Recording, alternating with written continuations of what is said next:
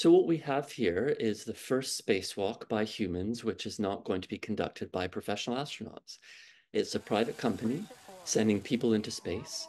They are all very well trained. They are all very much their own experts, but we've never before had these non-professionals, not full-time astronauts, actually exit the vehicle and go out for a spacewalk. This is a major step forward in terms of space travel for humans. It also brings with it incredible risks because a lot of the technology is new. A lot of it has not been fully tested in outer space. It's people with a very different background and very different training from what has happened before in terms of professional astronauts. So it's always this balance between risk and reward. This is very much an experimentation. It's really trying to push the frontiers of commercial space travel and space tourism. So they do have some scientific aspects, particularly regarding the space travel, but fundamentally, what they're doing is having a bit of fun. It's for a human being to experience what so few would ever have the chance of doing.